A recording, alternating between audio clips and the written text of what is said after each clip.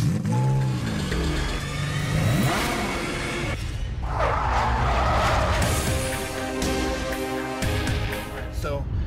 I want to go over people that are negative, people that are pretty delusional to the reality of other people with really elite or good genetics, above average genetics, above average response to training, diet, steroids, all that stuff.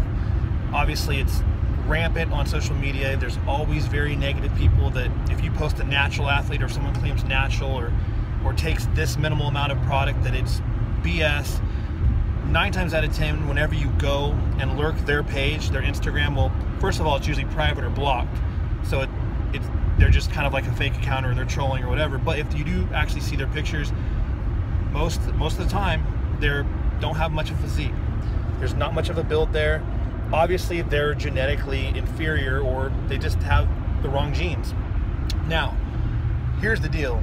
My question is, I always wonder where were some of these people brought up? Like, what kind of school did they go to? Was it a small populated school? Was it were they not in sports or were they unaware of certain athletes around them? I say this because from where I went to school and went to high school, even middle school, uh, I was always surrounded with different athletes that I got to firsthand witness and experience some of their genetic genetic gifts. Uh, I remember in, in high school specifically, uh, in sophomore and junior year, so 10th and 11th grade, uh, there was one individual, and I remember this very clearly because I'm so uh, anal about like stats and body composition, all this stuff, and I was heavily into bodybuilding even in high school. My friend was a football player. He was a fullback, and he was five foot 11 inches. He was 208 pounds with a legitimate body fat caliper reading of 8%. And this is an 8% that was back then, and it reasons to stand today because I know what body fat looks like from training so many people. Lower back had virtually no fat on it. His ab skin folds were very thin. Um, he had really round muscle bellies. His delts were so profound and capped. And I was already into bodybuilding, at least 12 months into it by that time. And the thing with me, I was only into bodybuilding. I didn't do any other sports, no football, no nothing, because I was so obsessive with that. I got very educated and smart at a young age with nutrition, so I was at school with my protein every two hours and eating diligently and all that stuff while I had really good results. This gentleman that was my friend blew me away. Even though I gained like 70 pounds and whatnot just from training and having the hormone response at a young age, this this guy just looked visually bigger with his round delts and his billowing quads and he was such a great athlete, a great fullback, and he actually did he sprinted too for track. And he would eat minuscule amounts of food. You'd have daily doubles, so you'd have catabolic muscle breakdown daily doubles of football, three hour practices twice a day in the hot summer. And he would barely weight train with just obviously the big three deadlift and all that stuff that's not conducive to bodybuilding, but he would look like a bodybuilder. Gibson. Gibson, that was his name. And there's another gentleman as well. Um, he was also very athletic. He could he could slam dunk a basketball. He had at like five foot six inches. Uh, he was round. He had he was these people were not doing anything crazy. They weren't taking any supplements or anything like that.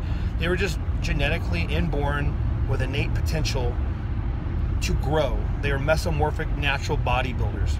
And I saw this firsthand. It was really nice for me to witness this because it set me up for my future of bodybuilding because I knew that these people existed at a young age because I saw it. And but I was I was okay with that and I knew what I had to do for myself and make the best of what I could do with my own physique and my genetics. So I wonder with these people that are so negative, are they just so tunnel vision that they don't understand their surroundings that there are genetic anomalies out there that people that just are better. That's just a, a, cold hard fact for some people to accept.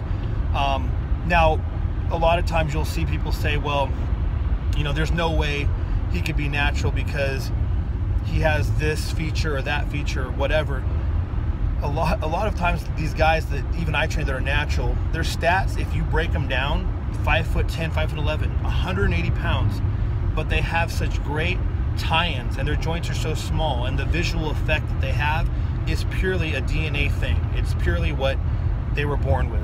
Not a supplement, not a pill, not an oil you inject. That's just what it is. And it's funny because these negative people, uh, you know, will comment like, they'll pick something apart and it's usually like their calves or forearms or traps something that's so minuscule, really. I know you have a complete physique, you want everything developed, but they'll nitpick and find something as silly as, as that to kind of berate them and, and drag them down. Now, um, the thing is, with with steroids and taking enhancement, and I've talked about this a lot. Even my wife knows about this fact that some people that are naturally awesome, when they take steroids, they don't blow up like you would imagine. They're naturally cra- they're crazy naturally. Sometimes they take steroids and you're like, that's that's it, and they're probably like, that's it too. They expected themselves to turn into Ronnie Coleman or whatever, and then you have guys that don't look like anything too special naturally, but they respond so well with muscle mass and just gaining raw mass at a rapid rate, just because their androgen receptors or what have you. Um, it's just it's different. So just because a guy's good genetically, naturally, doesn't mean that he's gonna blow up and turn into Mr. Olympia once he's enhanced. Although you know, Kai Greens and Ronnie Coleman's that were natural definitely blew up to be top tier bodybuilders, but that's not always the, the case. I'm sure there were some guys. I don't know how Dorian Yates looked as a team, but I think I saw a couple pictures of him. But he he turned into one of the freakiest bodybuilders of all time. Um, not sure how he looked natural. Uh, he might be one of those guys. So I don't know why some people are so negative. I don't know why they can't comprehend that people do lurk out there that are amazing. I, I attribute it to maybe just they're insecure about their own genetic potential or lack thereof. And so they, they just can't accept the cold hard fact that people are just better. I, like I said, I was very lucky that I got to witness this stuff firsthand. And it set me up to be realistic throughout my whole entire bodybuilding career when I was competing. And I knew that I had the strongest mindset and I also knew that some of these genetic guys didn't have what I had up here. So therefore they could get by with cheating and coming in a little soft and all that stuff. And you have a chance to beat these guys. But far as being negative and just calling everyone bullshit and saying that's not possible, you don't have a surveillance camera on these people and, and you don't have direct proof. I don't see why you're going to scrutinize them and basically call them liars and whatnot, you know. So that's my take on it. It's a little frustrating to see this happen in, in, the industry. I don't know why people can't be more positive and just accept that some people are better. But the delusions and reality of steroid cycling and most importantly genetics is is something that's prevalent in this industry and believe it, they're out there. There's people that are just genetically better than you